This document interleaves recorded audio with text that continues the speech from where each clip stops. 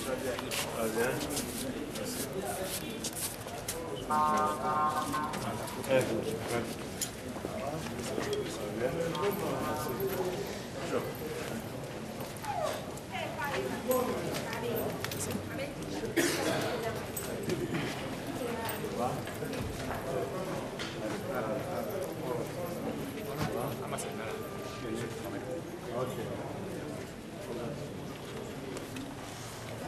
Ça.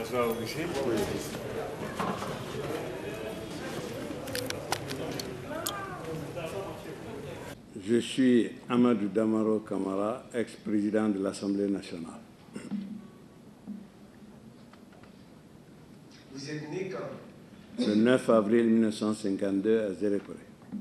Monsieur Amadou Damaro Kamara, Oui, Monsieur le Président. vous êtes renvoyé par devant. Cette cour, suivant ordonnance de non-lieu partiel, en date du 28 février 2023, pour avoir à Conakry, en tout cas depuis 30 ans couvert par la prescription, détourner la somme de 15 milliards de francs guinéens au préjudice de l'État guinéen dans les mêmes circonstances de lieu et de temps et en votre qualité d'agent public, après une mise en demeure, donc d'avoir été dans l'incapacité de justifier l'origine licite des ressources qui vous permettent d'être en possession d'un patrimoine ou de mener un train de vie sans rapport avec euh, vos revenus légaux, légaux. D'avoir encore converti ou transféré des fonds en sachant que ces fonds-là proviennent d'une activité criminelle ou d'une participation à une activité criminelle, dans le but de cacher ou dissimuler l'origine licite des dix biens. Et donc d'avoir accepté directement ou indirectement des libéralités pour vous-même afin d'accomplir ou de vous abstenir d'accomplir des actes dans l'exercice dans l'exercice de vos fonctions officielles. Enfin, et en votre qualité d'agent public, d'avoir investi, et d'ailleurs investi, étant investi d'un mandat électif, d'avoir pris, reçu ou conservé directement ou indirectement des intérêts quelconques dans le paiement des primes, salaires et indemnités des députés et dans le paiement des factures liées à la construction du nouveau siège de l'Assemblée nationale. Ces faits sont prévus et punis par les articles 19, bon, 652, 764 et suivants, 776 du Code pénal, 7, 112, 113 de la loi 024 AN du 17 août 2021 portant lutte contre le blanchiment de capitaux et le financement du terrorisme. 3. 45, 52 de la loi L 041 du 4 juillet 2017 portant prévention, détection et répression de la corruption et des infractions assimilées. Monsieur Amadou Damaro, est-ce que vous reconnaissez ces Monsieur le Président, je plaide absolument non coupable. Aucun faits. Aucun. Merci. Que savez-vous de la gestion alors des 15 milliards qui ont été affectés? Monsieur le Président, Oui, avec euh, votre permission, Monsieur le Président, vous vous souviendrez avec moi que c'est la première fois que M. Amadou Damaro Kamara comparaît devant votre juridiction. Et au cours des débats, vous avez bien voulu adresser un courrier à la Banque centrale pour avoir des informations relatives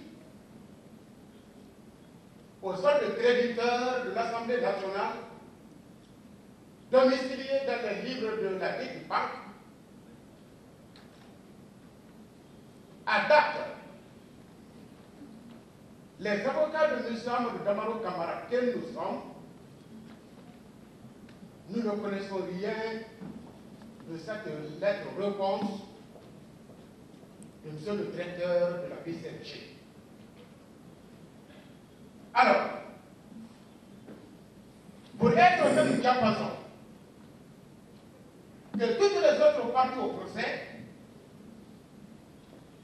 et conformément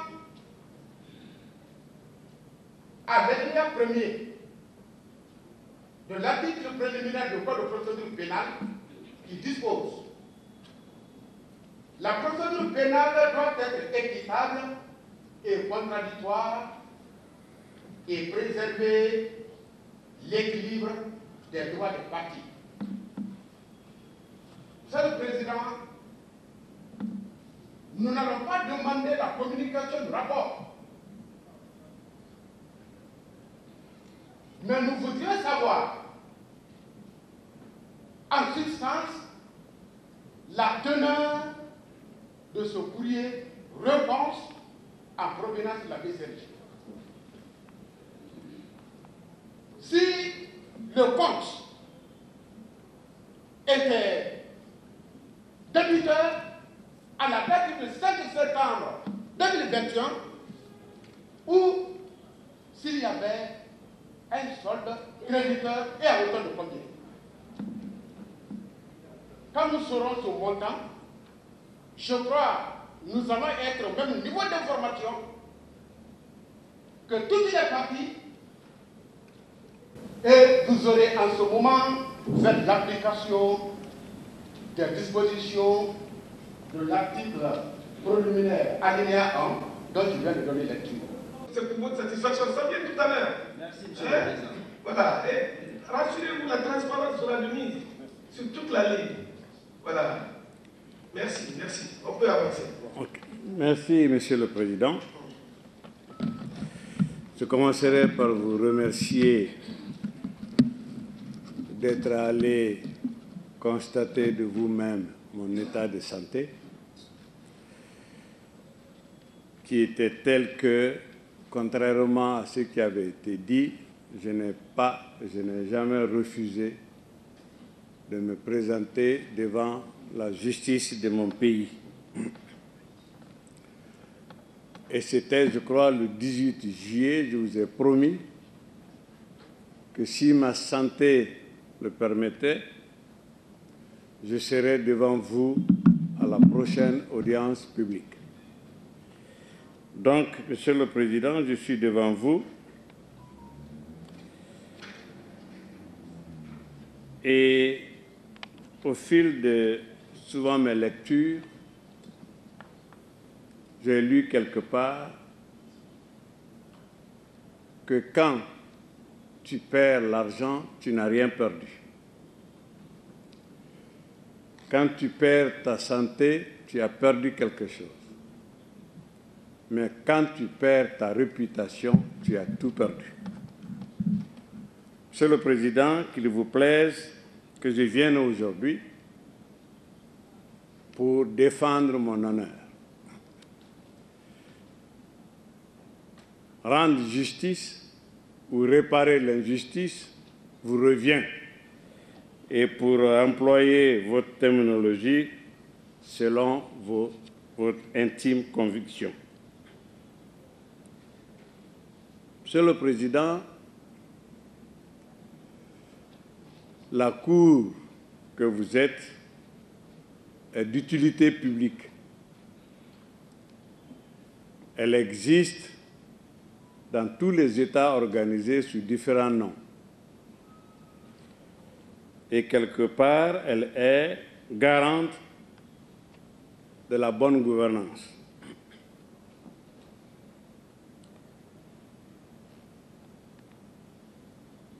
Si vous existez dans tous les États, il y a quelque chose qui est commun à toutes les procédures. Je suis d'accord avec le procureur Ali Touré qui dit souvent que les enquêtes financières sont très délicates et peuvent prendre du temps. C'est vrai. Faut-il avoir des spécialistes pour enquêter? Mais sous d'autres cieux,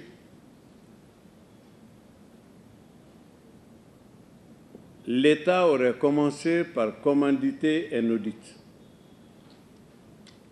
une inspection dans tous les points de gestion, surtout après un changement de régime. identifiés par l'État comme méritant d'être revus. Un rapport est établi après l'audit qui est opposé au gestionnaire c'est seulement après, si des points incriminés n'ont pas pu être expliqués, que l'État renvoie le dossier devant la justice pour procéder à des poursuites. Monsieur le Président, je n'ai pas bénéficié de ces droits élémentaires j'ai été convoqué devant la gendarmerie sur une simple dénonciation anonyme. Mais en tant que républicain, je me suis présenté à la gendarmerie. Comme vous venez de poser la question, on m'a posé la même question. Que savez-vous de 15 milliards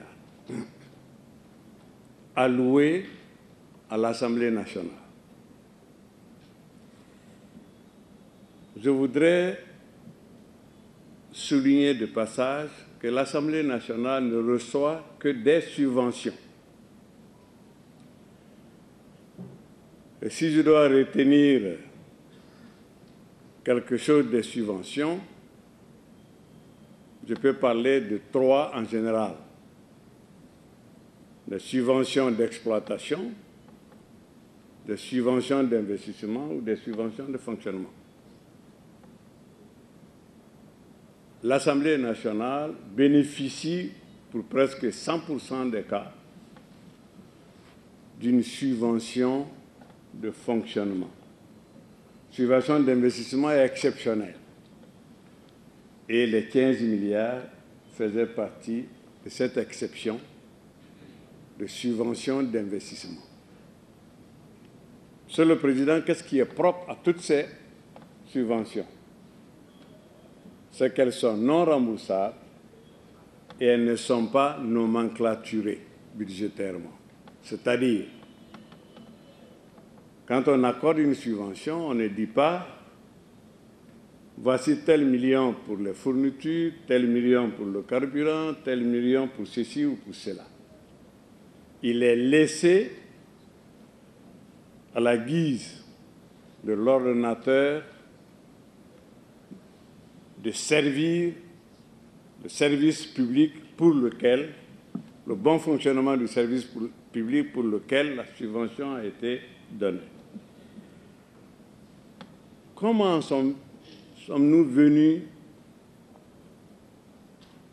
à ces 15 milliards? Nous avons bénéficié en tant qu'État d'un don du palais de l'Assemblée nationale, estimé par les partenaires chinois à 40 millions de dollars. Un premier site, juste derrière le ministère des Affaires étrangères à Coloma, a été attribué à l'Assemblée nationale depuis la huitième législature, dans les années 2015-2016.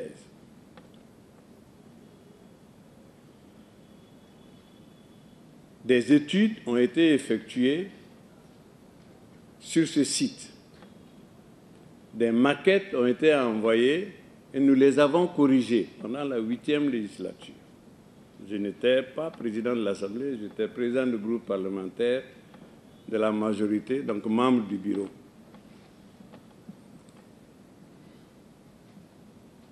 Mais en 2020, il y a eu un redéploiement de la plateforme de Coloma.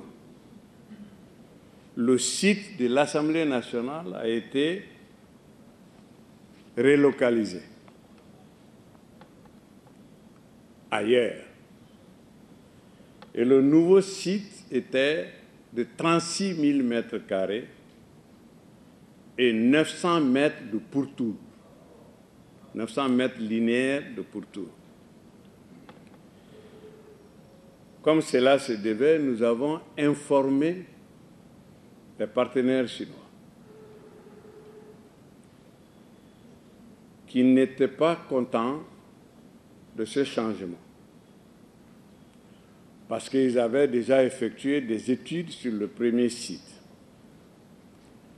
Ils nous ont demandé que dans 90 jours, de bien vouloir rendre le nouveau site net de toute occupation matérielle et humaine. Je dois vous dire, Monsieur le Président, que le nouveau site était joncé de bâtiments à peine démolis,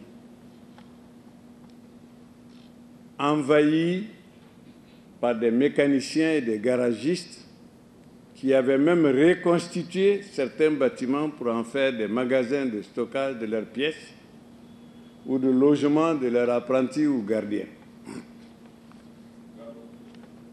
Je n'avais pas d'argent. L'Assemblée n'a pas de budget d'investissement. C'était en 2020. À peine je venais d'être élu en avril. J'ai écrit au président de la République d'alors pour nous donner les moyens de respecter les exigences de la partie chinoise. La première réponse a été j'ai pas d'argent, il n'y a pas d'argent. En plus de la viabilisation du terrain, les Chinois ont demandé à ce qu'il y ait une ligne spéciale de haute tension avec un, un transfo autonome sur le site et qu'il y ait aussi de l'eau en abondance pour les travaux. J'ai écrit à l'EDG qui a évalué le travail, parce que la ligne devrait partir de, centre émetteur sur le site à Coloma. L'EDG a évalué à 750 millions. J'ai fait la commande des travaux et j'ai payé les 750 millions. On a écrit aussi à la SEG. La SEG a évalué à 350 millions, qui a été payé. J'ai appelé deux ou trois sociétés, j'avoue que je ne m'en souviens plus beaucoup, c'était au pifomètre, pour aller évaluer ce que ça pourrait faire, valoir. Les montants étaient tels qu'on ne pouvait pas supporter, surtout qu'il fallait payer à l'avance. C'est en ce moment que j'ai fait recours à la société de M. Kim, ici présent, qui n'a pas voulu faire le travail, qui m'a dit que ça ne l'intéressait pas. M'a demandé si j'avais de l'argent pour le payer. J'ai dit non. Je n'ai pas encore de l'argent, j'en ai fait la demande, mais apparemment, je n'ai pas encore. il m'a dit qu'il ne peut pas faire le travail parce que il a fait la clôture du Palais des Nations sur Lansana Conté, le général Lansana Conté, qui n'a pas été payé. Qu'il a fait l'abri hélicoptère sous le procès Alpha Condé qui n'a pas été payé. et qu'un des premiers ministres lui a demandé aussi de faire la grille, la clôture autour de la primature qui n'a pas été payée. Je lui ai dit, mais tu n'as rien fait pour l'Assemblée. Pour moi, tu vas le faire. Il a été évalué le travail à plusieurs reprises. Je n'ai pas accepté. En dernier ressort, il m'a fait une proposition d'environ 2 milliards et poussière. J'ai coupé, j'ai dit, bon, on te paye 1 milliard 800. À un moment donné des travaux, il m'a signalé qu'il va arrêter les travaux parce qu'il a sous-évalué l'ampleur des travaux. Il était à plus de, d'après lui en ce moment, à plus de 150 camions de gravats jetés hors de Conakry. J'ai été visiter le terrain, je l'ai commandé de décaper beaucoup plus. Ce qu'il a fait, qui devait faire objet d'un autre contrat qui ne lui a pas été payé.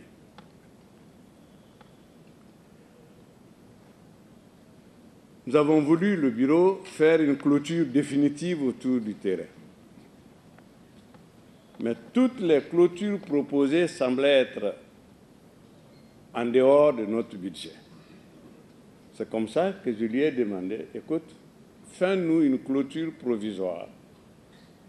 Mais comme le quartier est un quartier chaud, les déguerpis n'ont pas démordu,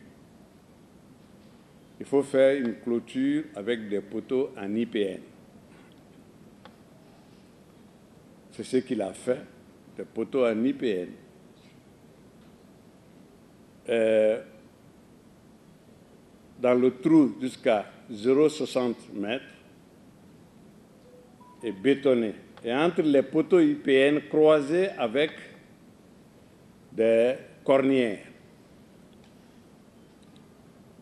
Il a aussi construit deux guérites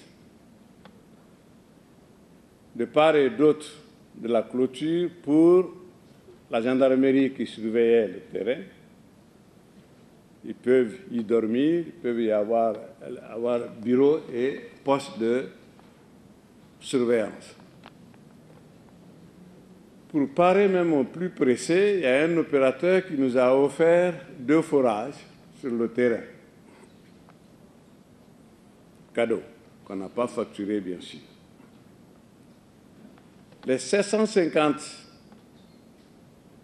millions de la de l'EDG les 350 de la SEC et le milliard 800 pour des travaux sur le terrain, on est à environ 3 milliards.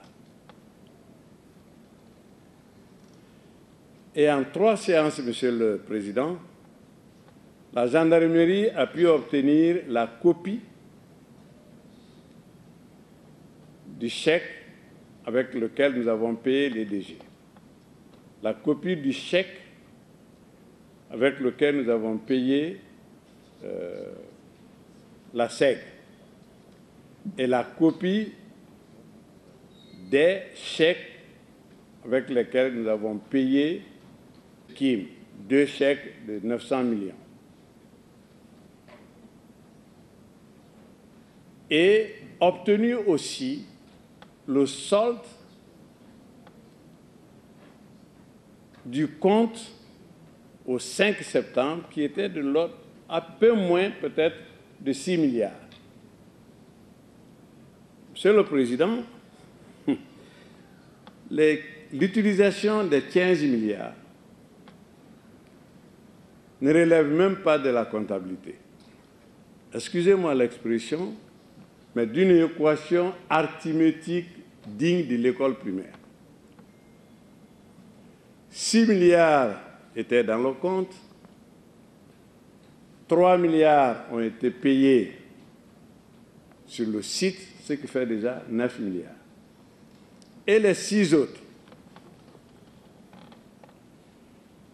nous avons clôturé la session ordinaire de la de l'Assemblée le 5 juillet 2021.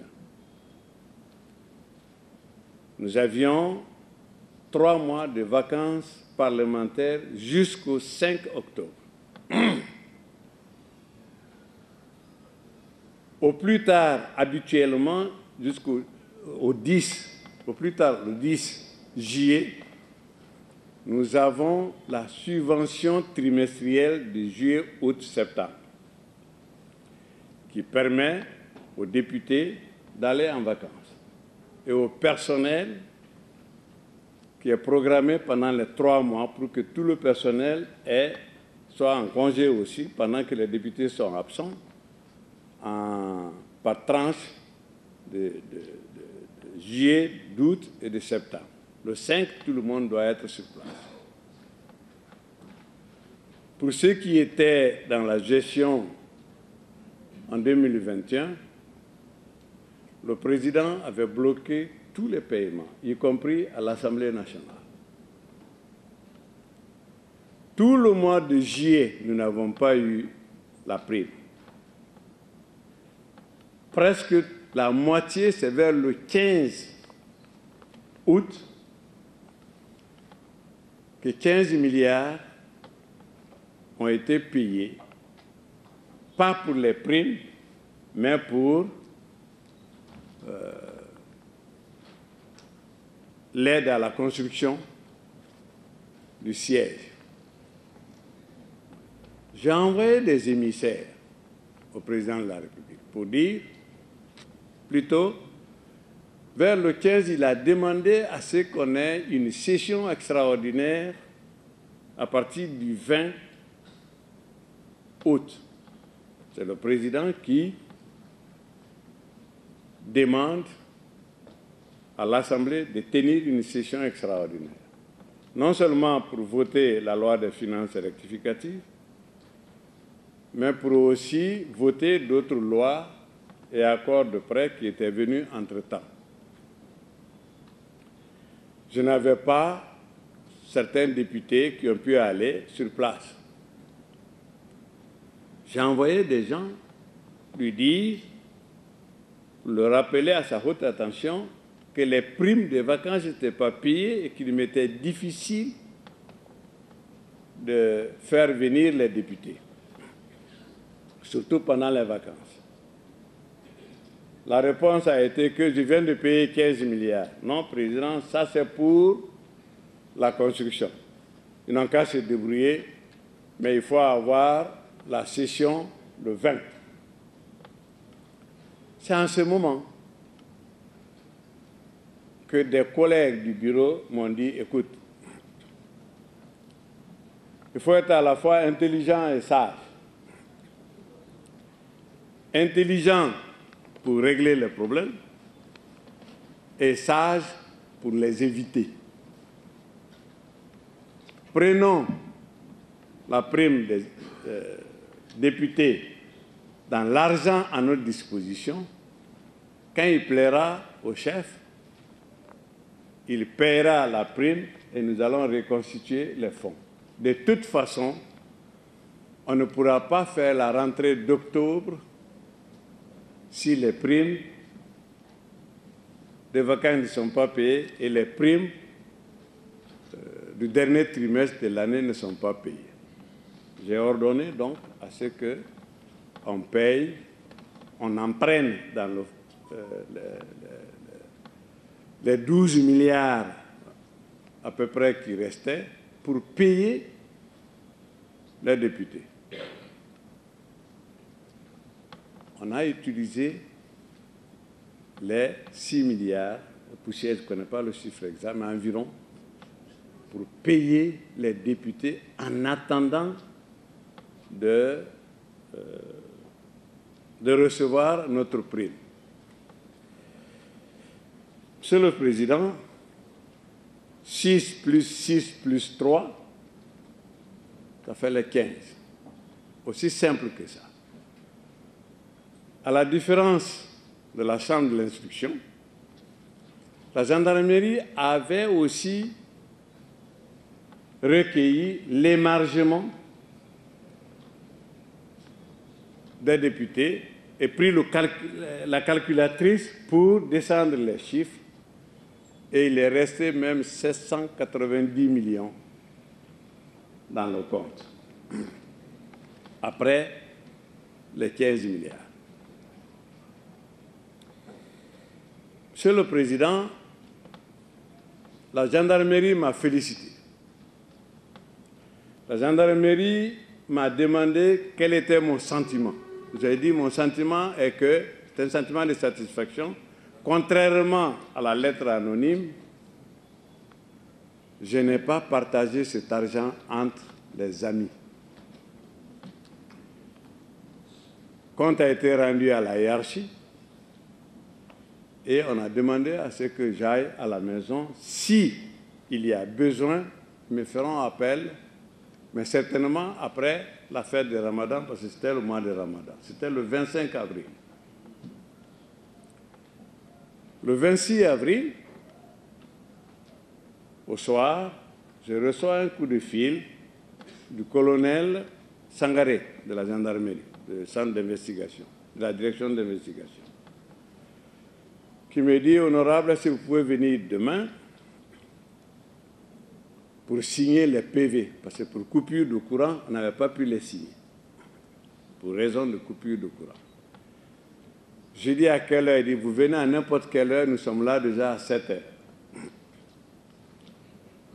Donc je suis venu pour être là-bas à 9 heures.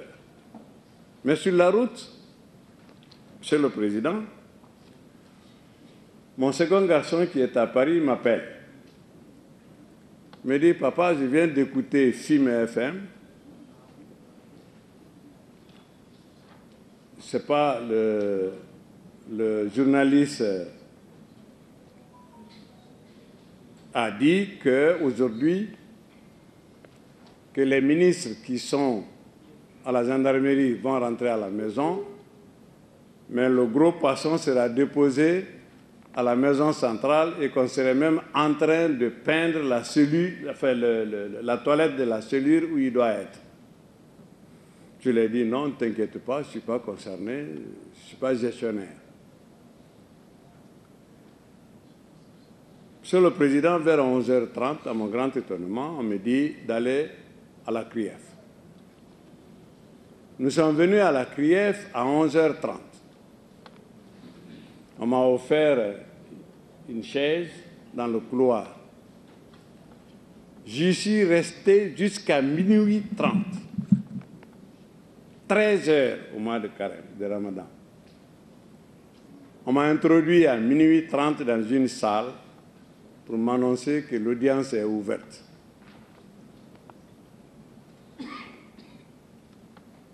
J'ai dit, mais vous n'avez pas les enquêtes préliminaires de la gendarmerie? Ils m'ont ouvert la chemise. Voilà, il n'y a que les accusations du procureur. Dès le lendemain, mes conseils ont écrit au procureur pour signaler l'absence des pièces comptables justifiant l'utilisation des 15 milliards. Vers une heure du matin, on m'a amené à la maison centrale.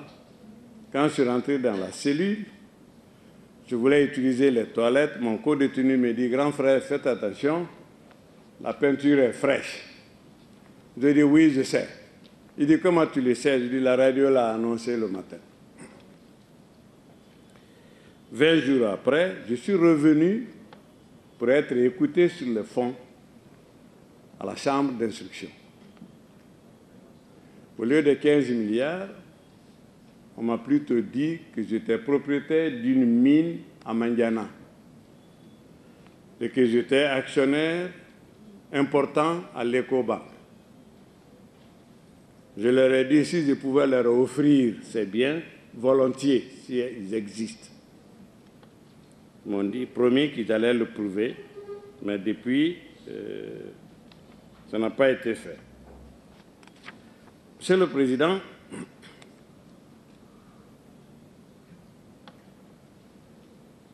que je sois devant vous c'est normal. Mais les subventions, la gestion des subventions de l'Assemblée nationale, pour respecter la séparation des pouvoirs, n'est pas contrôlée par l'exécutif. C'est la Cour des comptes qui reçoit les pièces justificatives de la gestion de l'Assemblée nationale après étude, et la Cour a jusqu'à 5 ans, il peut les verser à la loi des règlements établie pour la gestion des institutions constitutionnelles.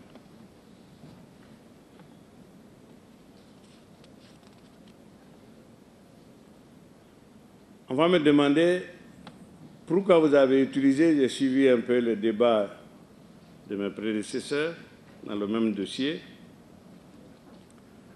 pourquoi vous avez pris de l'argent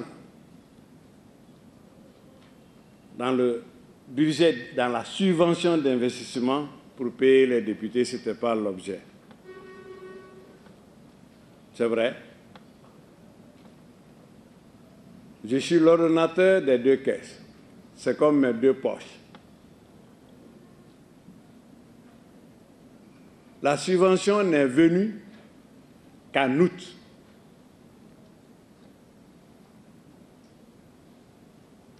fallait laisser le site en l'état jusqu'à ce que j'ai quelque chose pour le faire, ou il fallait plutôt par euh, pragmatisme, régler le problème pour aller vite. J'ai payé tout ce qui a été fait sur le site, sur le fonctionnement et sur les fonds de souveraineté. Donc, j'ai pris de l'argent qui n'était pas destiné à être utilisé sur euh, le site et en attendant que euh, l'argent pour le, siège nous soit payé. Et comment j'ai trouvé cet argent? Par exemple, j'ai annulé tous les voyages qui n'étaient pas statutaires de l'Assemblée pour pouvoir faire face à ça. Pendant mes 16 mois de présidence à l'Assemblée, j'ai voyagé une seule fois et en Sierra Leone et en véhicule malgré toutes les invitations qui fusaient de partout. Toutes les conférences internationales parlementaires, j'ai tout bloqué pour faire face à cela. Si je peux, je ne sais pas si je dois m'arrêter d'abord à à ces 15 milliards ou si je dois continuer sur les autres chefs d'accusation.